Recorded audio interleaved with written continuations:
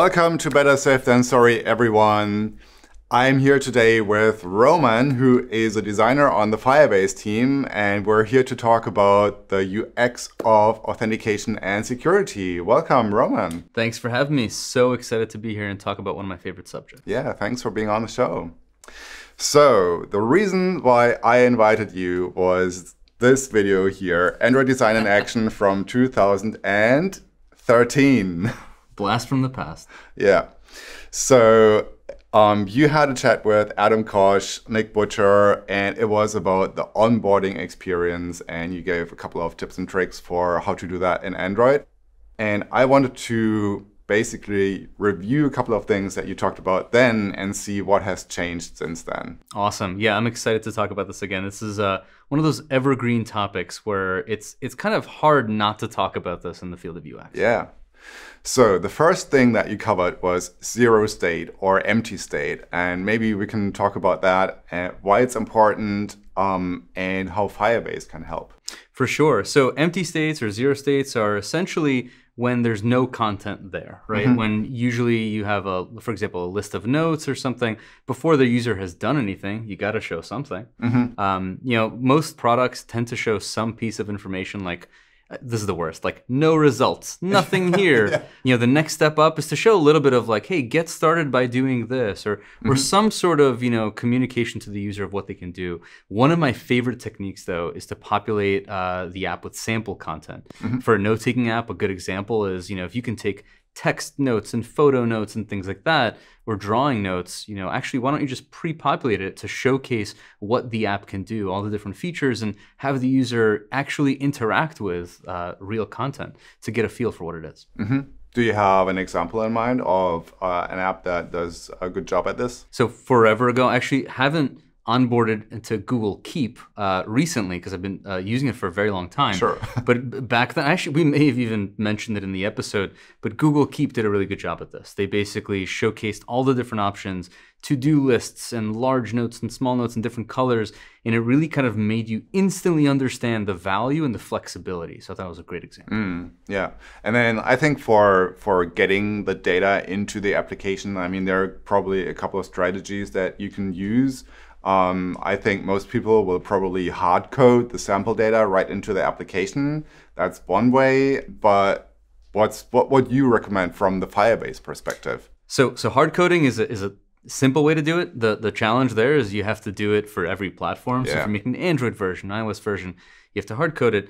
Firestore data bundles, which is something that we released uh, somewhat recently, I think in the mm-hmm. last like two years or so, I'd say, um, is a great way to basically allow you to first, you know, actually use your app as a developer to make the content that you want, and then uh, snapshot it into a Firestore data bundle, bundle that with your actual app across different platforms, and then be able to essentially kind of unpack it into the into the user's account uh, once they decide to kind of get into the app and start using it. And you know that also gives you the advantage of not having to pull this data and query the database for every single of your many million users that you hopefully have, um, but you'll just have to do it at once store the bundle somewhere on, um, you know, for, for example, Firebase hosting, and then download it from there and not have all those document reads. Know the users in the app, and one thing that I still see very many applications do is ask the user to sign in straight away. Um, and, you know, I always you know, I don't feel good about this. Um, I don't know how you feel, but what's your recommendation for for for apps? When should you ask your users to sign in? So I, I think a lot of this comes down to trust, mm-hmm. right? Um, some if you're a big brand where users already know who you are, they use you on different platforms, you know, it may be okay actually you know mm-hmm. to, to ask the user to sign in a banking app for example right you're likely yeah. not starting unless you're like a digital only bank or something um, you're likely not starting from the phone um, but if, if the user has never heard of you if, if they just read an article and you were mentioned and they installed you or they just heard about you from a friend if the very first thing you do is ask the user to trust you with their google sign in or, or other information that that's kind of expecting a lot. And I think most folks will probably just uninstall and say, mm-hmm. you know, this may not be right for me. I'm, mm. I'm Yeah, I'm, I'm not sure about this. And so I think what's really important is to establish uh, trust. Sometimes that can come in the form of the user spending some time in your app. So if you see the user, you know, uh, coming back to your app, you know, every let's say every you know uh, every day or so, or you know if they've been using the app for about you know 20 minutes. Or, these are just random numbers out there. Mm-hmm. It, it's always going to vary. Um, if you get some signal that the user is invested now and they it may be the right moment, then you can kind of um, you know, suggest to them, hey, maybe you should sign in to store your information um, or sync across devices or things like that. Mm-hmm. But so much of it is going to come down to when the right moment is and establishing trust through some sort of signals that you're getting um, from the user. Yeah, that makes sense. But on the other hand, I mean, I guess one one reason why a lot of um, apps out there say, okay, we need you to sign in the first thing is that they need some key that they can then use to, you know, identify the user and key the data to them that is the main driver or one of the main drivers for, for people doing that, right? Let's say you're building a cloud synced notes app. Mm-hmm. You know, one of the things you may want to do, you probably don't want to ask the user to sign in right away. Right. Right. You you want them to make notes. They they downloaded you so that you can you know, so they can take notes. But if you're pitching yourself as a cloud synced note app, you probably want to think about, well, once the user decides to to sync, what am I going to do? How do I actually get all their notes into the cloud? one of the best ways to do this is with anonymous auth mm-hmm. with with uh, Firebase. And so anonymous auth basically lets you start kind of uh, forming that user identity and start attaching real content to that without having the user actually sign in. But once they're ready to sign in, once they're ready to say, you know what, now I want to sync my information. Here's my Google account or my Facebook account, whatever it is um, then it, it, becomes as easy as just attaching that that uh, federated login to that anonymous auth. Mm. And so um, anonymous auth um, is a real Firebase account, right? But you know it doesn't have any personally identifiable information attached to it. It's literally just the user's UUID. Right? That's right. That's exactly yeah. right. Yeah. Uh, and that is why you can use it for Firestore or for cloud storage and all of that. It's basically just this unique key that's unique across your entire application. Yeah, it's it's honestly when I first heard about this feature like years ago, it was just it blew my mind because the developer experience for for this it just made it so easy to to solve this onboarding problem mm-hmm. to not have to you know force people to sign in yeah. it's just it's a game changer yeah i often think not many people know about this or not enough people know about this so okay. hopefully after this episode uh, a lot more people will start using it Okay, so the user is an application. They've started using the application. They're um, um, using well, you are using anonymous auth to yep. um, to have this key. Um, for them, they don't really know that they're signed in because they're not really signed in. But you know, now you want to upgrade them. Let's talk um, about federated identity providers first. Um, so things like Google Sign In or Sign In with Apple, Facebook, and mm-hmm. so on and so forth. What are some recommendations for using those federated identity providers and how should you make this upgrade process? When's a good moment to tell a user, hey, you might want to sign in? You have to look at intent, right? Once the user decides to to say that, hey, you know what, now I'm ready to sync, um, now I'm ready to, you know, I'm committed, that could be a good moment. Um, one of the things that I think also to think about is, you know, how do you actually present the option, mm-hmm. right? I, th- I, think you have to think about which uh, which providers even offer, mm-hmm. right? I think this is it's, it's, such an interesting problem because you know how uh, how people think about their identity has evolved over the years. You know, uh, folks probably have many different federated providers to that they work with, um, and and I think you know one of the things you always want to be careful about is the uh, the NASCAR problem. What, what's, um, what's what's a NASCAR problem? so it's essentially, you know, when when you have all the different options available to you for sign in. Uh-huh. This is not actually this. Why is it called a NASCAR problem? Is if you ever watch, you know, a NASCAR race, uh, you'll see, you know, all the cars have a billion sponsor logos oh, all over yeah, them. I see. Yeah, and it's just super overwhelming. It's oh, yeah. super overwhelming. One of the things to to think about is, you know, what are the most popular uh, providers for your users. Mm-hmm. Um, really understanding users is really important there to, mm. to understand where uh, your for your specific user base, which are the uh, the most common, most popular providers. Mm-hmm. So would it be a good idea, for example, to say on Android I'm going to use Google Sign In, and on iOS I'm using Sign In with Apple? Yeah, that's a that's a good baseline. That's actually likely a requirement. Actually, on the Apple side, I believe it's a requirement. I, I could be wrong. On Apple, if you use any federated identity provider, right. you also need to um, support Sign In with Apple. It goes further than that. I think it's likely the you know iOS users are going to expect that. Yeah. Uh, Android users are going to expect Google Sign In. It's just yep. part of the expectations.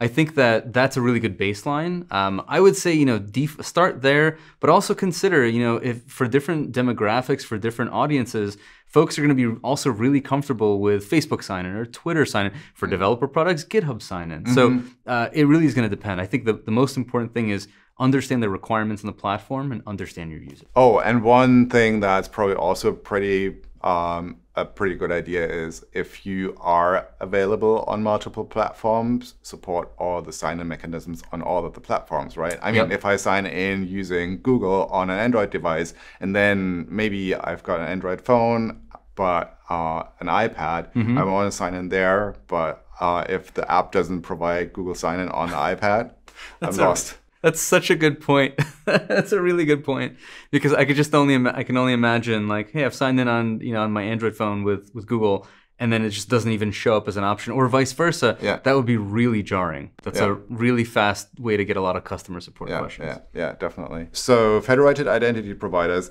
another um, sign-in mechanism I often see being used, and I'm, you know, I often think it's being overused, is phone authentication.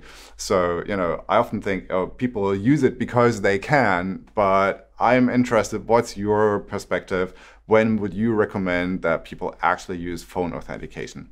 I think it really comes down to two things. The, mm-hmm. the first is again going back to this is maybe uh, a broken record as a user experience professional, but um, the first thing is understanding your users. Mm-hmm. You know, I think depending on your users, where they're located, their region, what their cultural norms are, what the norms are in the country, um, their demographics. You know. Uh, you know the you know, Gen Z folks are almost going to expect phones. Mm-hmm. Um, other folks are not going to expect it. Um, I think that so much of it depends on what your users' expectations are and where they are in the spectrum of it. It must exist. I must be able to log in. Versus I actually do not want to log in with my phone. There's a wide array. Um, the second is about use case. Mm-hmm. You know, there are some uh, product use cases. Um, or some types of products where phone auth will not make sense. Can you imagine if, in the as part of logging into the Firebase console, we forced you to put in your phone number? Uh, it would be pretty stupid, I think. it would be so weird. But at yeah. the same time, if you're a ride uh, ride sharing or food delivery app, the whole experience revolves around the phone. Mm-hmm. And so I think thinking about wh- what does the phone actually mean as part of the broader experience of using the product, I think that is another key factor. So understand your users, what their expectations are, as well as understand or, or form an opinion on where the phone actually fits into the broader experience. Mm-hmm. One challenge that I've seen with phone authentication, and that's another reason why personally for me, I think, you know, it doesn't makes sense for many, many cases is that when you're um, moving from one country to another one, or even if you're staying in the same country and you're maybe changing your contract or you've got pay as you go and then you, you switch to uh, a cheaper provider, for example, you get a new phone number. Um, and I always wonder, so you know, what, what happens there? Um, and and oftentimes you would lose access to the servers, and you would sign in using the new phone number, and then you'd have two accounts, right? The multiple accounts thing that is always a challenge. Um, I think there's there's two things to keep in mind. I think the first is never use something like a phone number or even an email address as a primary key yeah. because those things change. They don't change often, mm-hmm. but when they do, they change catastrophically. Yeah, right? and, and you don't want to have your all the records in the database being yeah. keyed to your email address or to the phone number. That's right. Yeah. And so that, that's why uh, one of the main reasons why you know uh, Firebase authentication offers a, a, unique or a custom UID user ID. The second thing is I think you know make sure that it's there are flows to be able to change the you know change your phone number or change your email address. It all comes down to do not assume that this is permanent. Mm-hmm. Um, and it's hard. I will say it is hard. The very first time you get a customer support request saying what is happening, like that's the moment you'll learn. but um, but it, it's uh, I think it's important to just keep those assumptions in check. The final point that I want to touch on is email and password authentication. Just in the previous episode, I sat down with Rachel and I showed her an application that I was working on and I implemented a beautiful sign in screen um, and it had email and password authentication. I was super proud because it looked beautiful and then she told me off for using email and password authentication and she said, you know, it's um, passwords are the worst. Um, and I was like, but it's so easy to implement. And then she went down all of those things. Hey, have you thought about this and that? Mm-hmm. And verifying the email address that actually exists and all of that. But from a UX perspective, what do you think about email and password and what's important to keep in mind? It's funny, you know, if you look 25, 30 years ago, what were passwords? They were one six letter word uh, that you can easily guess, right? Yeah. And because it was memorable, right? And so there, there is a lot of value. There's still cases today where, especially if it's not the most, you know, uh, important to fully secure thing, you know, if you really need to be able to remember something, if the user needs to remember something, they won't have easy access to password manager. There are limited cases, very limited cases where that's still okay. Um, but we've we have come really far actually as well with things like you know suggested passwords for Chrome mm-hmm. um, and, and across you know Android and so on. We've come really far to make passwords just about as good as they can be. Um, but even so, even the most uh, long and wild passwords, they're still going to need that second factor of protection. Mm-hmm. And so, and to Rachel's point, like there are lots of different things you need to consider when you're rolling your own email password based uh, system things to keep in mind, you know, are there ways to, you know, first not necessarily require federated login, but still use the user's email address mm-hmm. as the mm-hmm. key. And one of the things I love is the uh, kind of the passwordless uh, one-time email links that that you can do as an alternative to actually requiring the user to, to store passwords. Um, there are a lot of great ca- uh, use cases for when that makes a lot of sense. Mm-hmm. Um, when you know, if it, especially if it's been a long time, if it's not really frequent usage, uh, if it's been a long time since the user you know logged in, they may not even have stored that password. Yeah. So just offering, hey, just you know, uh, click this link, we'll we'll email you and click it to log in. That is a really nice workflow for a lot of cases. It feels like magic, right? You click on the link, you get the email, you you tap on it, and boom, you're in the application. Right. Yeah, yeah, yeah. I, I often think you know that flow might have been invented because so many people click on I forgot my password, right? and instead of sending the you know reset your password we're now sending the link. Hey, click on this link, and you're signed in. It's a good. It, it almost feels like forgot password by default. Yeah. Yeah. Exactly. yeah. yeah. So nice to talk about all those things, um, and you know, see what's changed, what's stayed the same in those past couple of years. And I look forward to having this conversation again in a couple of years and see how far we've gotten um, in the meantime. Yeah, I'm hoping it's not a couple of years. I'm hoping uh, to be on camera a little bit more. This is awesome. I, I miss this. This is cool. Um, but yeah, this is uh, onboarding and, and, authentication in general is such a topic that is near and dear to my heart. As somebody that worked on onboarding for Firebase, um, I think it's so critical to get right. And like I said in the beginning, it's really an evergreen topic in UX. So mm-hmm. um, I look forward to come back. Thanks for being on the show. Thanks for having me. And that was another episode of Better Safe Than Sorry, the show where we teach you how to build secure and safe applications using Firebase authentication. Thanks for watching, and we will see you in the next one.